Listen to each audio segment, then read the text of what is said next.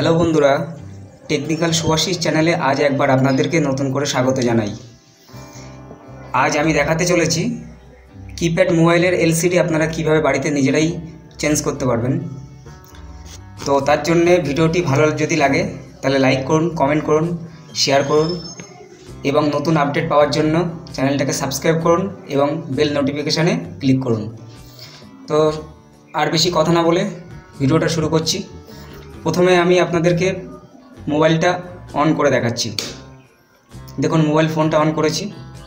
তো মোবাইল ফোনের এলসিডিটা দেখতে পাচ্ছেন আপনারা, মোবাইল ফোনের এলসিডিটা ফেটে গেছে। তো এবার মোবাইলটা আমি খুলছি, আপনারা দেখতে থাকুন।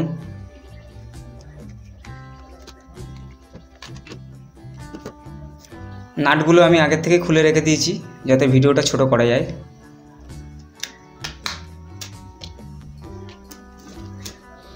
এবার এলসিডিটা সার্কিট থেকে বাইরে বার করে নেব।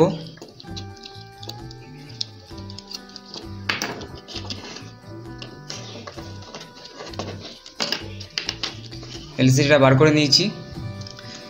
এবার এলসিডিটা তুলতে গেলে প্রথমে একটু বেশি করে রাং নিয়ে নিচ্ছি তাতালে। এবার রাঙের সাহায্যে আমি তার আগে কি করব, একটু পেস্ট নিয়ে নিয়ে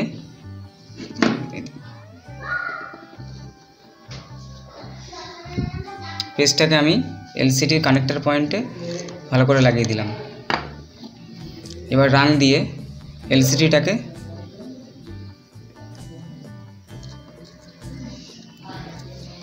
আস্তে আস্তে টানতে টানতে টানতে টানতে এলসিডিটাকে তুলে নিলাম। এবার কানেক্টার পয়েন্টটা পরিষ্কার করে নেব।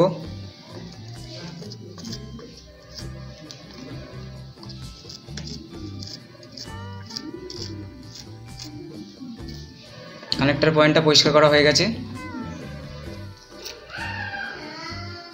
এবার এই হচ্ছে, দেখতে পাচ্ছেন নতুন এলসিডি এটা মার্কেট থেকে নিয়ে এসেছি।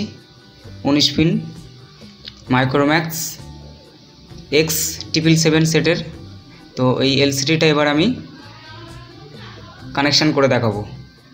যার জন্য এলসিডি কানেক্টার পয়েন্টে এইখানে প্রথমে আগে একটু পেস্ট লাগিয়ে নেব।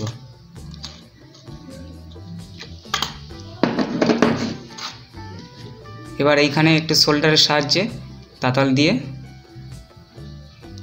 একটু সমান করে নিচ্ছি। এবার এলসিডিটা খাটাতে গেলে কি করতে হবে? প্রথমে সার্কিটটাকে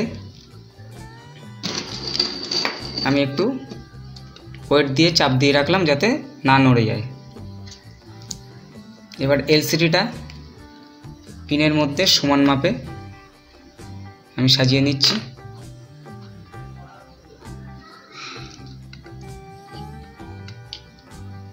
নেবার পর আমি কোনো একটা পাত ধরনের কিছু দিয়ে এলসিডিটাকে চাপ দিয়ে ধরে রাখব।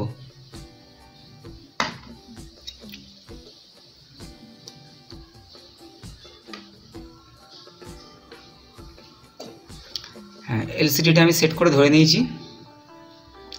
এবার প্রয়োজন মতো সোল্ডার নিয়ে নিচ্ছি। এবার এলসিডির ওপরে সোল্ডিং করতে থাকব। প্রথমে একবার লম্বালম্বি টানতে থাকব।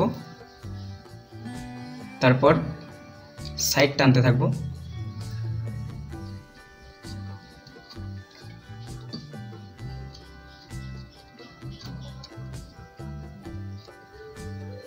দেখতে পাচ্ছেন এলসিডিটা সোল্ডিং হয়ে গেছে। এবার আমি আপনাদেরকে কানেকশান দিয়ে দেখাবো ব্যাটারি কানেকশান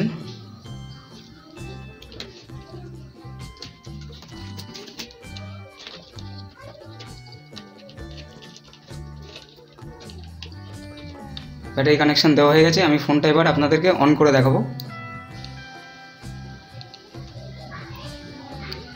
দেখুন এলসিডিটা অন হয়ে গেছে। এবার স্ক্রিনের উপরের পেপারটা আমি তুলে দেব। দেখুন এলসিডিটা একদম অ্যাকুরেট হয়ে গেছে। তো এইভাবে আপনারা বাড়িতে নিজের এলসিডি চেঞ্জ করতে পারবেন। এবার মোবাইলটাকে আমি সেট করছি।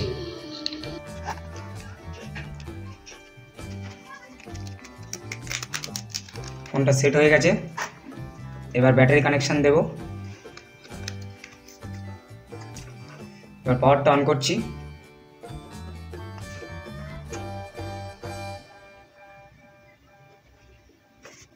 দেখুন, আপনারা দেখতে পাচ্ছেন, ফোনটা আগের মতো ঠিক হয়ে গেছে।